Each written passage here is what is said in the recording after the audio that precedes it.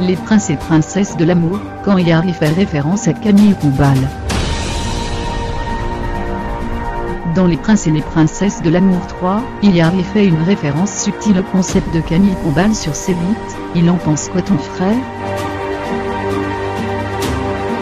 Dans Les princes et les princesses de l'amour 3, un nouvel habitant débarque dans l'aventure. Un jeune homme qui ressemble selon Yari à Degoudou à Selim, le prétendant d'Aurélie. Pour le lui faire remarquer, la jolie blonde lance il en pense quoi ton frère? Une référence au concept de Camille Combal dans lequel il se déguise et surprend les passants interrogés par les caméras de ses bites. Dans la villa des cœurs brisés, Beverly met à l'aise les habitantes de la maison. De quoi ravir Vivian, qui semble sous le charme. Sophie Davant reçoit Michel Larocque dans cet autre programme sur France 5. L'actrice explique que sa fille suit une prépa littéraire et une licence d'humanité, pas très tentée par le cinéma. Mais après l'avoir convaincue de participer à un long métrage, la jeune fille est conquise.